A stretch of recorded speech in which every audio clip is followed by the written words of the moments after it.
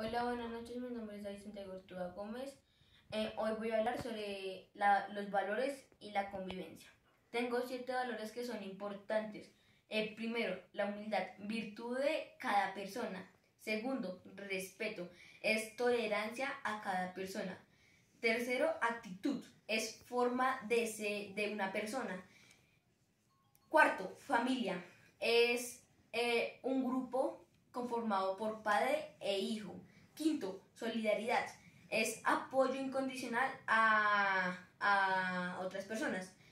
Autoestima, es apreciada a uno mismo. Y el amor es sentimientos a otra persona. Y sin estos valores no hay paz familiar, escolar o laboral, o cualquier grupo que se conforme indispensablemente incluir la paz dentro de los valores para llegar a ser una persona íntegra. Gracias.